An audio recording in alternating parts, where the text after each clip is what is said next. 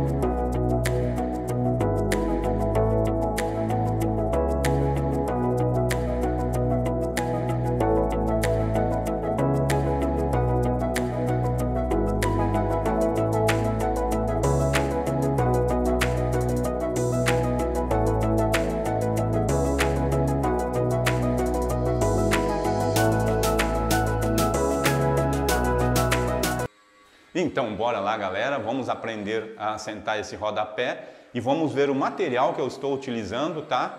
Qual é a cola para poder fixar ele na parede e também vou aproveitar para vocês falar mais uma vez sobre 45 graus, tá? Então, bora lá?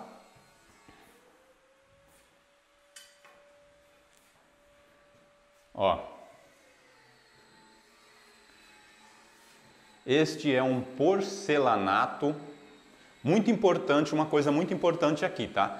Porcelanato retificado, massa única slim, tá? Por que, que é legal você usar o slim? Porque por mais que o reboco esteja legal, sempre o pé da parede, alguma imperfeição acaba ficando. Então o porcelanato slim, eu vou soltar esse daqui e vou pegar aquele ali para mostrar para vocês. Ó.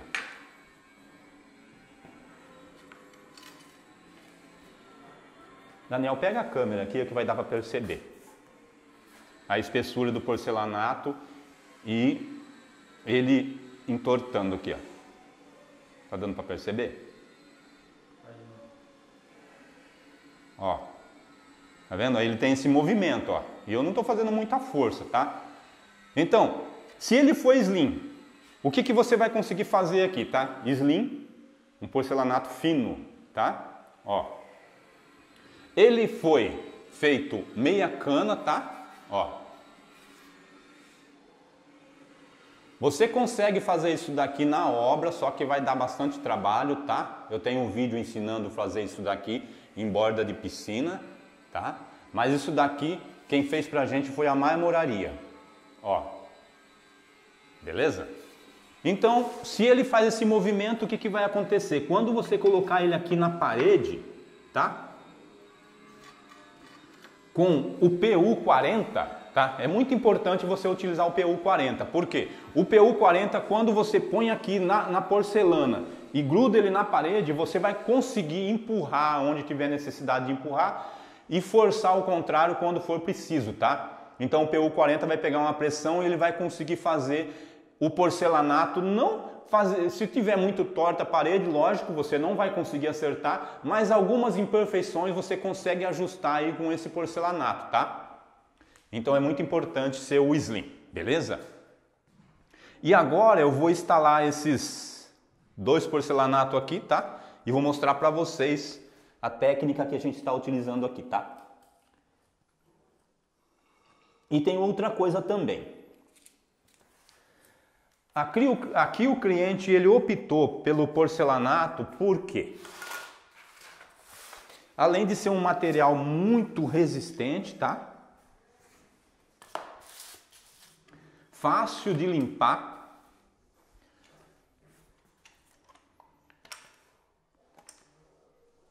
E você também tem uma variedade imensa em cores, né?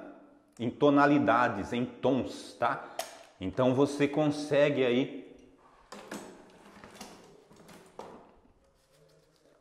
fazer uma escolha legal aí para poder combinar com o seu piso vinílico, tá?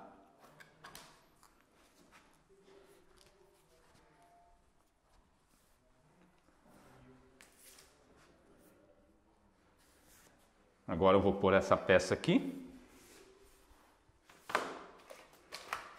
Uma coisa que é imprescindível, tá? Eu já falei várias vezes nos meus vídeos, mas eu gosto de insistir nisso daí. Por quê? Quina de 45 graus tem que rejuntar, tá? E eu gosto de rejuntar na hora do assentamento, por quê? Você consegue fazer a peça virar uma com uma, uma única peça, na verdade, porque você colando com a massa plástica, ela vai colar ali e não vai ficar brecha para de repente se bater uma vassoura, algum móvel, alguma coisa ali, não vai ter perigo de quebrar, tá? Então, tem que colocar a massa plástica na quina do porcelanato ou também você pode usar um rejunte acrílico, tá? Na cor do porcelanato. No nosso caso aqui, essa cola plástica aqui, ela tem a cor bem aproximada do porcelanato, beleza? Ó, agora vamos, vamos colocar aqui primeiro o PU, tá?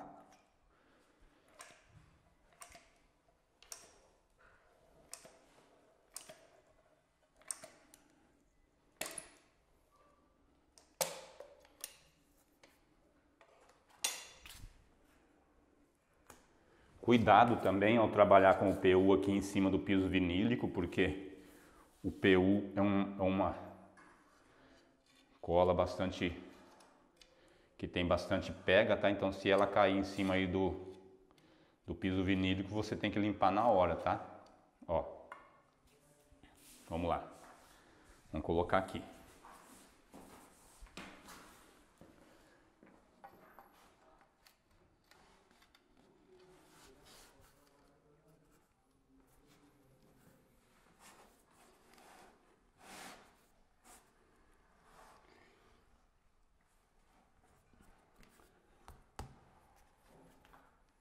Ó, tá vendo?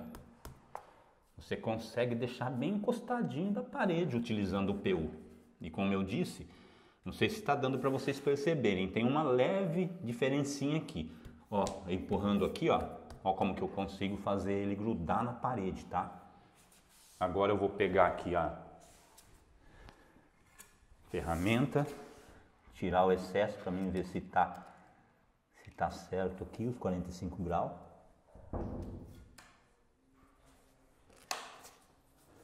Vamos ajustar aqui um pouquinho, vou abrir um pouquinho aqui.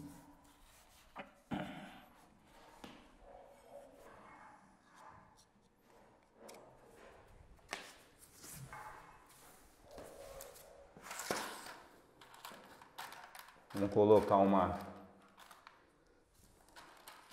colocar um espaçador aqui. Vou levantar um pouquinho essa peça aqui.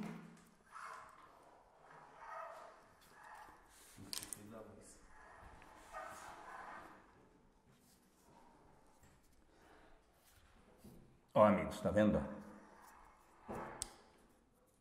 Ó como que fica. E como eu disse na tonalidade do material, ó, tá vendo? Isso daqui é um bege, uma areia, né? Agora, agora eu vou mostrar para vocês o cômodo que já está pronto, tá? Para a gente estar tá finalizando esse vídeo, beleza? Então bora lá. Então bora lá, galera. Vamos ver como é que ficou. Aqui o quarto já está todo instalado, o rodapé. Só falta rejuntar. É... Qual vai ser a técnica, técnica que a gente vai empregar aqui para rejuntar? Para vocês é, aprender por completo o trabalho, tá? A gente vai colocar uma fita aqui. E para esse porcelanato aqui, a gente vai rejuntar na cor corda, tá? É uma fita para não pegar o rejunte em cima do porcelanato. Um rejunte um pouco mais mole, tá? E vamos rejuntar aqui embaixo e as juntas. Aqui em cima vai ser calafetado com cimento branco, tá? Para depois receber a pintura. Mas vocês podem ver, pega aqui na lateral, Daniel. Dá para ver aqui retinho, ó. Tá vendo? Mas isso daqui também vai depender muito também do reboco, tá? Então aqui como foi a gente que executou aqui todo o trabalho desde do baldrame desta casa até esse ponto, então a gente é, deixou aqui o trabalho mais perfeito possível, tá? Pega aqui também, né? nessa parede. Tá vendo? Ó? Embaixo também do do guarda-roupa a gente também assentou este rodapé, tá? Daniel vai mostrar para vocês ali, tá? Então este guarda-roupa aí foi feito uma base para ele, tá? E foi assentado o rodapé, tá vendo, ó? E eu não posso também deixar de falar a altura. Ele ficou com 10 centímetros de altura, tá? É uma altura legal, mas aí é opcional, vai do seu gosto, tá? É, a cor desse porcelanato aqui ele puxa com areia, é um beijinho aí, tá? Combinando, pode ver que está combinando aqui com o, o, os móveis né, da casa. Ele combina também com a madeira, que é o piso vinílico, tá? E, e é isso daí. É um, é um porcelanato 80, tá? Por 80, essa é a medida dele, mas isso daí é independente. Você pode pôr um porcelanato um pouquinho maior. O menor é legal aí que você consegue ajustar melhor, tá? Então vamos falar assim que para trabalhar assentando desse jeito, junta seca, encostado da parede, é bom ser um porcelanato de 60 até 80. Passou disso daí já vai ser um pouquinho mais complicado para você ajustar ele, beleza? Gostaram do vídeo? Logo mais vai ter o vídeo fim de obra mostrando essa casa que vocês estão vendo aqui finalizando, toda mobiliada, um vídeo fim de obra legal, graças a Deus finalizando mais uma construção, mais um sonho aí sendo realizado. O cliente está muito contente com a nossa equipe, tá? Então bora lá, senão daqui a pouco eu começo a me empolgar e falar demais, tá? Eu creio que ficou bem, bem claro. A intenção desse vídeo foi ensinar algumas técnicas de assentamento, mas uma opção para você estar tá decorando a sua casa aí com o rodapé, beleza? Agradeço você que está vendo esse vídeo até o fim. Deus que abençoe esperamos você no próximo vídeo.